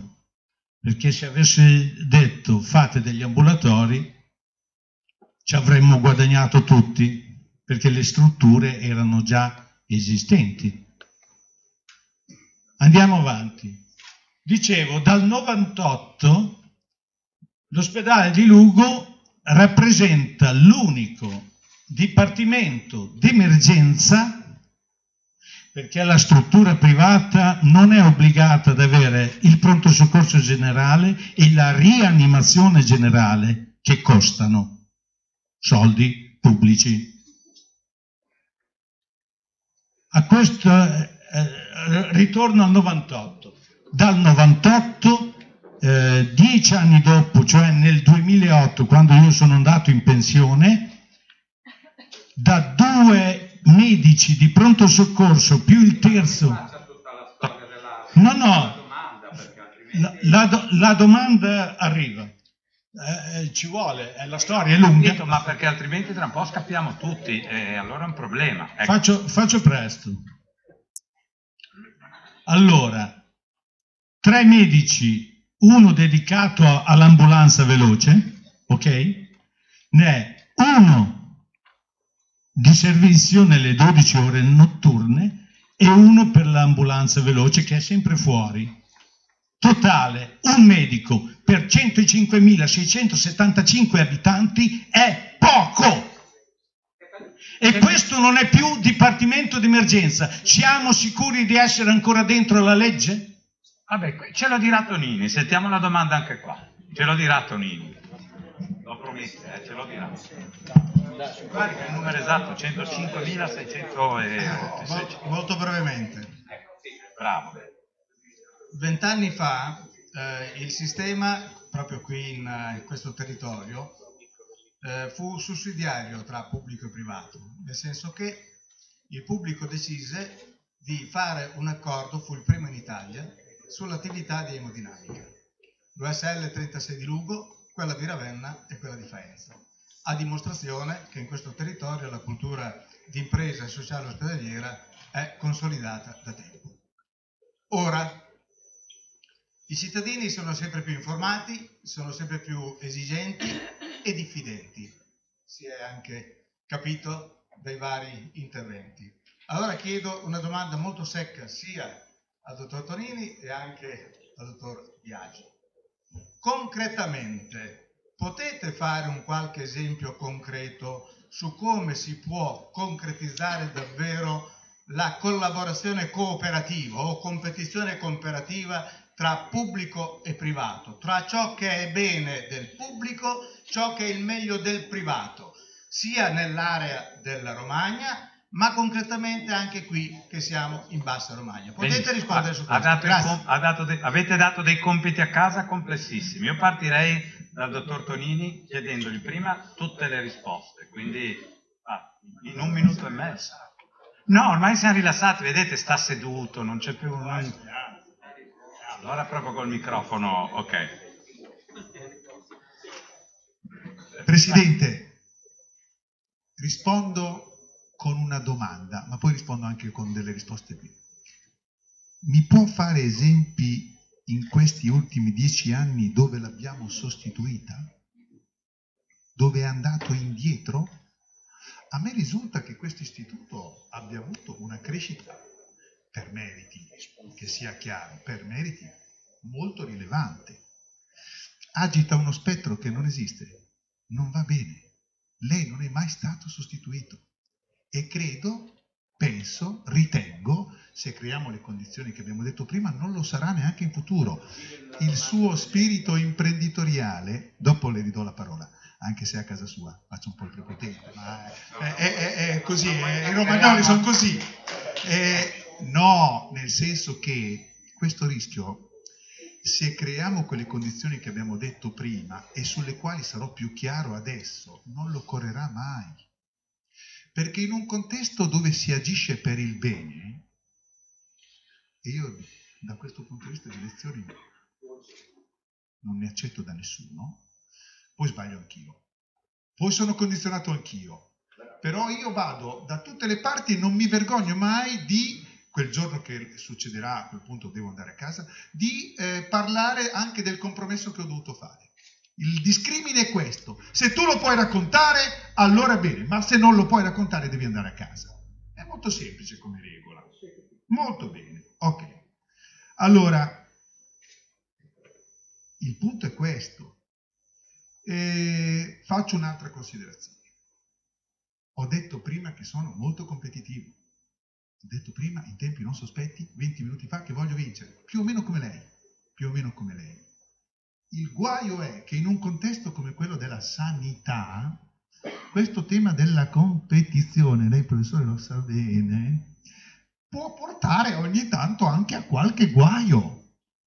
Nel senso che una rincorsa che non sia regolamentata, per esempio, non è, sto parlando di guai teorici e in alcuni casi anche che sono diventati pratici, può produrre un guaio che è quello dell'iperproduzione. Anche perché qui c'è un grande tema irrisolto, che è quello dell'appropriatezza, i professionisti lo sanno bene. Noi continuiamo a dire dovete essere appropriati e loro ci rispondono eh sì però lo sappiamo dopo l'esame che era inappropriato, prima non lo sapevamo, hanno ragione, è un tema che non sarà mai risolto. Quindi per evitare derive sarà meglio che questo tema della competizione venga almeno moderato, almeno moderato, ma c'è spazio per tutti, ma c'è comunque ancora spazio per tutti. Allora secondo me qual è la madre, non di tutte le battaglie, ma la madre di, è il padre di tutti i ragionamenti per andare d'accordo e crescere insieme, perché si può. Bisogna che il primo punto di chiarezza sia legato alla definizione e al rispetto dei ruoli. Se le regole del gioco affidano la responsabilità della risposta sanitaria di un territorio al direttore generale di turno, il quale deve dare una risposta attraverso i propri mezzi e quelli del privato accreditato. E questa cosa bisogna che lui la eserciti, si chiama committenza. Se io ti chiedo, Luca, che ho bisogno di quella roba lì e ti riconosco capace, dico così, parlo al sindaco perché tutto eh, la massima non scherzo mai, eh? che No, sia no. chiaro che io non scherzo mai. Ok, non ve l'ho voluto un po' ricordare. Sì, che- si è che parlato poco di politici, si è parlato un po' poco, un po', sto, sto- sto- sto prendendo un po' troppo la scena, un po' troppo, ma non, si- non ci si deve allargare. Se io ti chiedo quella cosa, Luca, e ti ritengo assolutamente adeguato, anche più adeguato di me, e tu mi devi dare quella cosa, non quello che vuoi te. No, perché se no si crea confusione, se no non si capisce più niente. Poi io devo essere intelligente, devo dialogare con te, devo capire il tuo spirito imprenditoriale, devo guardare all'interesse collettivo, non mi devo far condizionare da niente, ma io ti chiedo responsabilmente quella cosa. Se io ti ho chiesto la cosa sbagliata, tu mi devi mandare a casa, perché io non sono capace di fare il mio mestiere, quello di tutelare i cittadini che tu rappresenti. È molto semplice. Il rispetto dei ruoli è il principio di, tu- è il principio di tutto quando si parla a questo livello. Se poi chi lo esercita non lo esercita bene, bisogna cambiarlo. Ma dov'è il problema? Non c'è problema. E qui veniamo, adesso è andato via, la verifica, la valutazione, cose che in sanità, cose che in sanità in generale e nel pubblico in particolare, del privato, non ho mai provato, non ne parliamo neanche perché non esiste. Non esiste perché essere valutati è una storia che eh, rode un po' a tutti, quindi l'abbiamo evitata. Ah sì, perché ci sono dei punti di caduta. Bene. Quindi, non, allora, cer- e poi vado avanti, ma non per provocare, vado avanti, vado, avanti per fare bene. Per fare bene. Qua, molto fatica, ma ci si può provando il Capricorno 1 più 1, mezzo per me. Ok. Allora, c'è un altro aspetto, professore, che mi deve aiutare a... Aiutami. Università, aiutami. È università. C'è un altro aspetto. Quando si ragiona a questo livello, io vengo da Misano, vengo da Misano, quindi non fatevelo dire da me che vengo da Misano, un paese piccolino, poi faccio l'allevatore di asini, quindi poca cosa.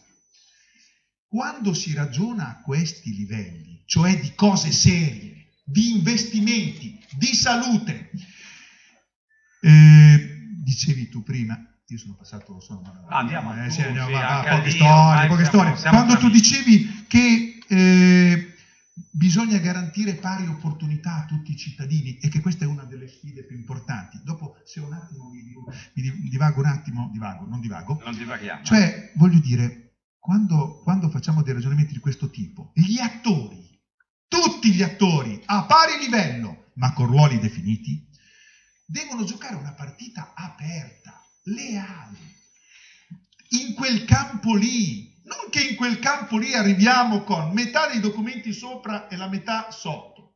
Quando usciamo, una parte dei ragionamenti li andiamo a fare con X come vogliamo e con X... Con... E non va bene! Che partita è questa qui?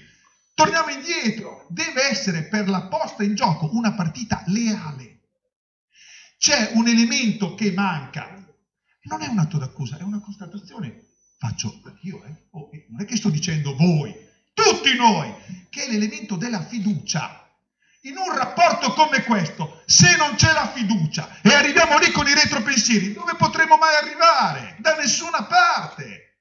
Ma questo non riguarda solo il rapporto con il privato, riguarda, anche il rapporto anche con il pubblico, tra il pubblico. Qual è la difficoltà oggi che abbiamo nel progetto? Questa, di iniettare fiducia, di superare i confini, l'ho detto un'ora fa. Il problema non è tecnico, non è mai tecnico. I problemi sono tecnici. Che problemi tecnici abbiamo noi? Siamo la Romagna. Oh, ma stiamo scherzando? Noi non abbiamo nessun problema tecnico e quelli che abbiamo li possiamo superare. Noi abbiamo un problema di, come dire, di, di ordine superiore, di fare in modo che l'approccio, il modo di intendere, il modo di affrontare il linguaggio, le cose eh, non appartengano più al passato dove eravamo divisi. Cambia, cambia l'atteggiamento mentale. E qui vengo al discorso delle pari opportunità, perché noi lavoriamo per chi sta male, no? Siamo qui per, siamo qui per chi sta male. Ok, vi trasferisco, guardo la dottoressa che è una dei miei e guardo tanti altri, vi trasferisco l'esperienza più importante di questi tre anni, che non è stata quella di mettere a posto il bilancio che era già a posto, ho già confessato, che non è stata quella di occuparsi del fatto che calavamo in fiducia perché siamo rimasti. No, è quella di avere scoperto in questi 3-4 anni che pur essendo la Romagna e quindi un posto virtuoso, facevamo cose così diverse e in alcuni casi così maledettamente diverse, ingiustificatamente diverse, pericolosamente diverse, che l'esperienza adesso è quella di farle tutti uguale ma verso l'alto, pari opportunità. La dottoressa Lotta faceva una cosa a Ravenna di un certo tipo, a Rimini ne facevamo un'altra di livello totalmente diverso. Adesso non dico bene male, a volte è bene. No, non va bene. Il valore aggiunto di questa esperienza è questo qui, quello di un territorio omogeneo che si può fare e che mette insieme un confronto serio, sopra, non sotto, tra professionisti, per fare in modo che le pari opportunità e la ridistribuzione delle chance sia reale. Perché in Romagna si può, tutti, non sto parlando più del pubblico, eh? qui in questo ragionamento non c'è pubblico e privato, ci siamo noi, ci siamo solo noi. Eh, mi sono state fatte altre due domande. Sì, no, quella dell'ospedale di Lugo perché... Allora, la cifra mi ha... Seganti, se, co, co, come ti chiami? Sergio. Sergio. Senti Sergio, lo sai qual è l'unico problema che ci impedisce di metterne due e al limite tre? Perché io ti capisco te. Nella porta d'entrata bisogna funzionare. L'unico problema che abbiamo, e non ti prendo in giro, è che non li troviamo. Hai capito bene che cosa ti dico? I medici di pronto soccorso non ci sono. Ci sono 15 discipline che ce li stiamo litigando i medici. Non ha funzionato qualcosa. A proposito dei problemini dello SCRI a 40 anni, ecco, a 40 anni viene fuori che non abbiamo più i medici. Un problemino da niente. Ma Poco. Tu lo traghetti al pronto soccorso, quindi al top, ma se anche non hai i pediatri c'è un problemino, eh? Gli anestesisti, i neurologi, i neurochirurghi, i neuroradiologi. Ok, ci sono 15 o 20 discipline dove ce le litighiamo ver- vergognosamente. E questo non è un bonus? E questo non è un siluro che è già partito e che rischia di affondare il servizio sanitario pubblico? Non ce li mettiamo perché non li troviamo. E troviamo quelli che sono appena usciti. Non mi devo vergognare io di dire queste cose, sono la verità. E troviamo gente che non ha grande esperienza, sono quelli. E, e voi, e, e giustamente, ma Dio, ma al pronto soccorso ci metti quello. Ma cosa stai scemo? Ma io sarò anche scemo, ma se non li trovo, ti richiamo a te. Non li trovo, non li troviamo. Usciamo con i bandi. Noi stiamo ragionando così, prof. Domani ci sono gli esami di scuola di specialità. Usciamo stanotte con il bando, così domani mattina il primo che si specializza lo por- ma se- ma, eh, può essere un modo per sostenere il servizio sanitario pubblico? Questo sì che è un problema grosso. E ce ne sono anche degli altri, eh? E quando tu hai detto prima eh, diventiamo vecchi, non è che l'affermazione diventiamo vecchi non si porta dietro niente, l'hai arricchita, ma qui potremmo fare secondo me meglio sui vecchi. Ma la facciamo, Lo la facciamo, benissimo. Lo facciamo. Eh, poi dopo risponde anche Bruno. Un esempio solo. Eh, due esempi. Eh, il primo, stiamo mettendo in piedi un progetto per cui tutto quello che, non è, che è accaduto ma non si è poi realizzato nei cinque anni precedenti, adesso si può realizzare. Che cosa?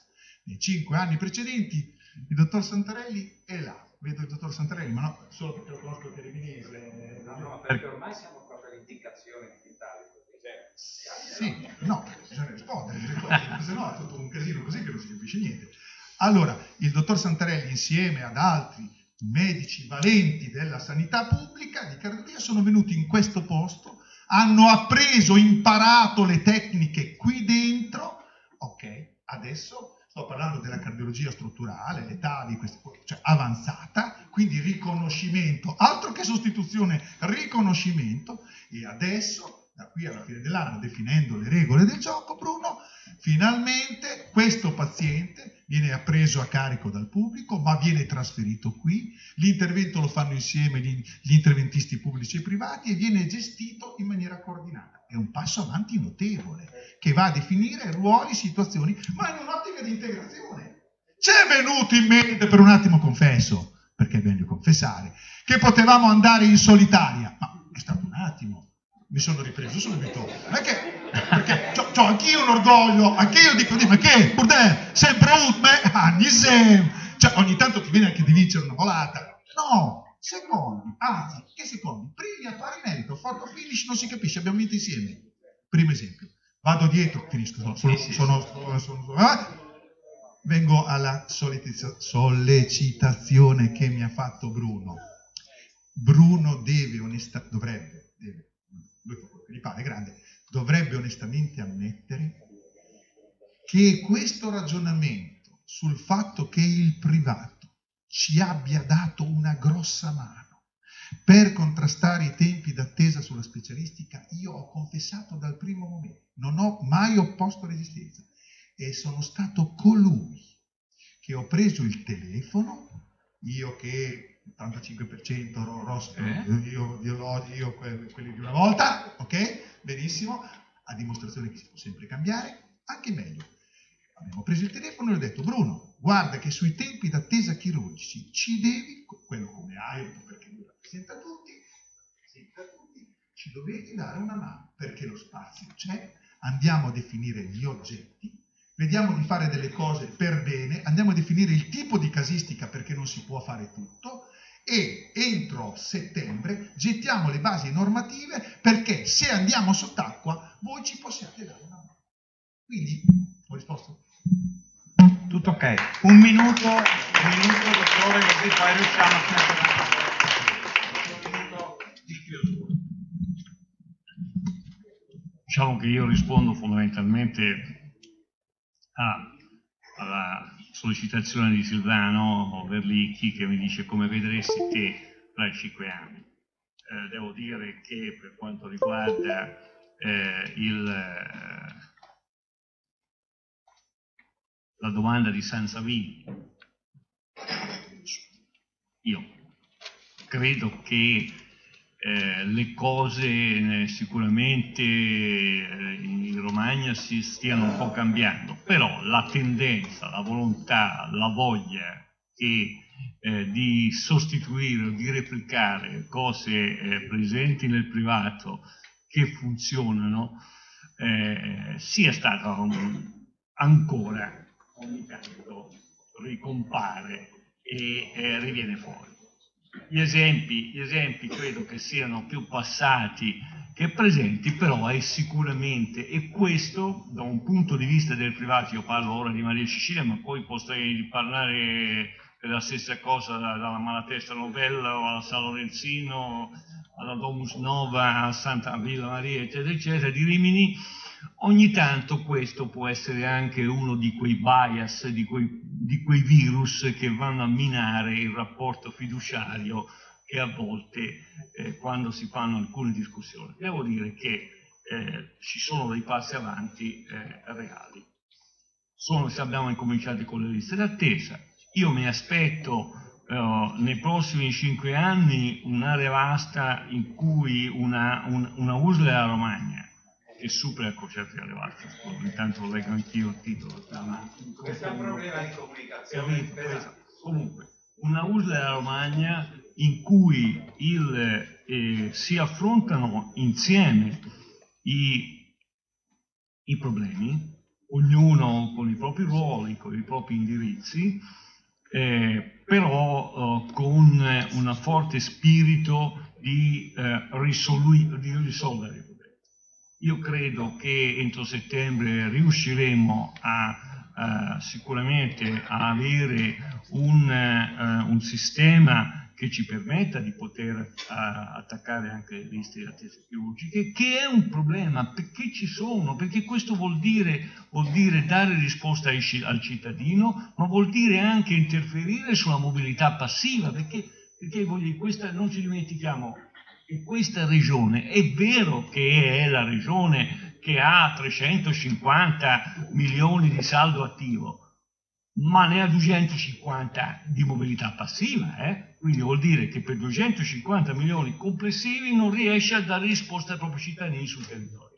Questo io credo che sia un aspetto che eh, possiamo, possiamo e dobbiamo affrontare, perché sono soldi che comunque la regione paga, guardare poi alla fine del saldo, però questi sono soldi che vanno via. Io credo che su questa partita si debba lavorare insieme, naturalmente con i vari step con le varie cose, si debba lavorare insieme. Io, come ripeto, noi ci siamo, è naturale che eh, a fronte di una eh, stretta e, e franca collaborazione, dopo le discussioni, dopo tutto quello che dopo i permali, e le strette di mano, eh, gli abbracci eh, e così, io credo che noi faremo un passo avanti.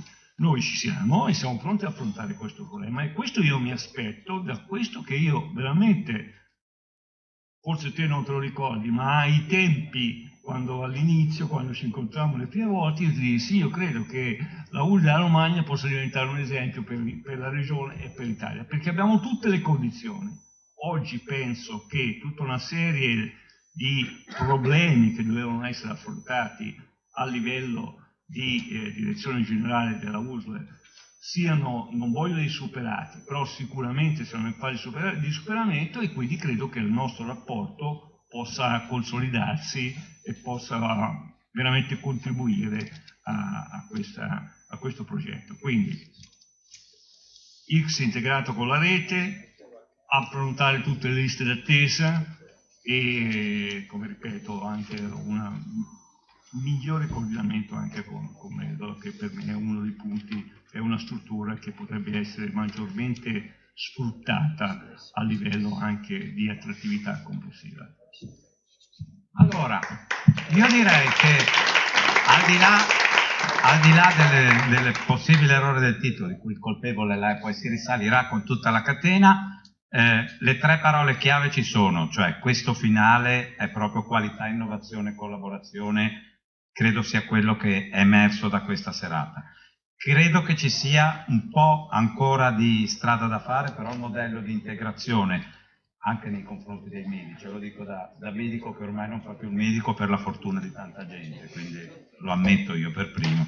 Ci sono molte persone fortunate che girano per l'Italia perché non mi hanno incontrato, però scrivendo eh, ci si accorge che tante volte i problemi nascono dalla comunicazione, dal modo di porsi, dal modo di essere verso gli altri. Eh, non è una battuta quella della comunicazione interna, cioè io credo che il primo snodo per far passare questi messaggi di integrazione e vi faccio un esempio banale, pensate solo alle vaccinazioni antinfluenzali in cui qua come regione vi state muovendo, a me capita di parlare in altre regioni in cui 4-5 medici su 5 dicono io non la faccio. Con che credibilità poi si va a dire a una persona vaccinati perché devi farla? Ecco, io credo che la riflessione debba anche essere proprio su come ci poniamo di fronte a una cosa, su come riusciamo a condividere questi modelli di integrazione e come poi eh, possiamo portarli fuori. Eh, credo che adesso ci sia ancora un momento per stare insieme e continuare a chiacchierare. Oda Costa per il saluto perché siamo in casa del Carlino ed è Oda che deve dire. Guarda, anche il grazie, guardate che bella, abbiamo una tecnologia che facciamo tutto. Comunque credo sia stata interessante e che ci sia state un po' di basi importanti. Oda a te. Allora, grazie. Forse... Sì, ecco, grazie. Allora, grazie veramente per la vostra attenzione, per il dibattito che sicuramente è stato acceso ma sicuramente fruttuoso. Troverete i risultati no, di questo dibattito proprio sulla nostra testata QN Il Resto del Carlino, in particolare domenica prossima nella sezione dedicata appunto alla salute. Come sapete tutte le domeniche il quotidiano nazionale dedica delle pagine sempre all'elemento della salute e anche del benessere. Io devo fare dei ringraziamenti nuovamente eh, per l'ospitalità al padrone di casa, quindi al dottor Ettore Sansavini, che vorrei che ci raggiungesse qui sul palco perché vorremmo fare una foto comune perché avrei un piccolo dono da fare. Lei riesce a venire qua con noi? Ok. Allora, vorremmo, vorremmo eh, Federico? Eh, vogliamo ospitare il nostro padrone di casa, ok?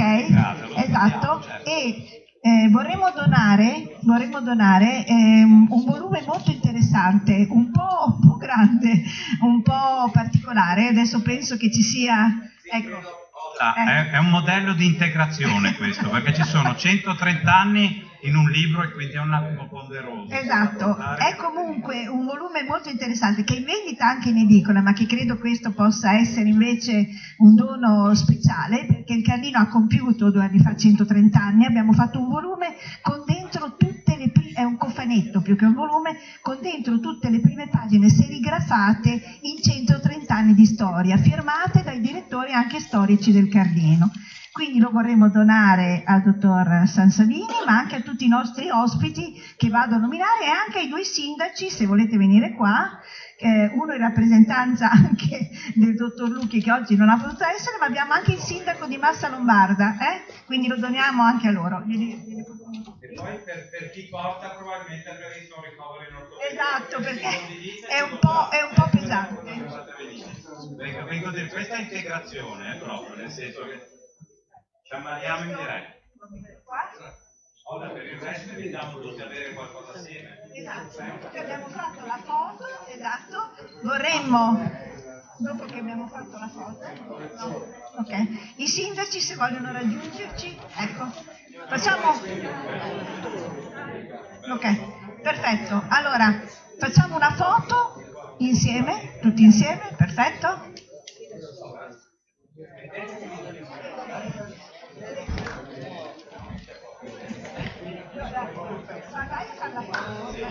Ecco, e, finita questa piccola, eh, questa piccola esigenza, diciamo, editoriale, ehm, vorremmo brindare tutti insieme con voi in un piccolo buffet che abbiamo allestito subito fuori, naturalmente, da, questa da questa splendida sala. Quindi grazie di cuore e arrivederci alla prossima occasione. Grazie mille.